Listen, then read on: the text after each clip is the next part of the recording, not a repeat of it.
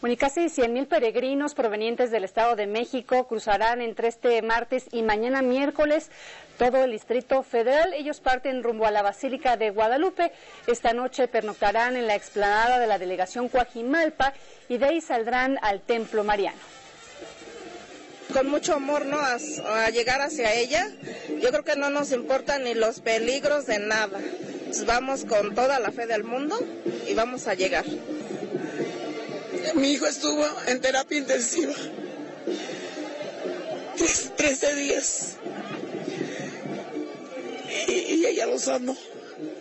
Se manifestó ese amor hacia ella.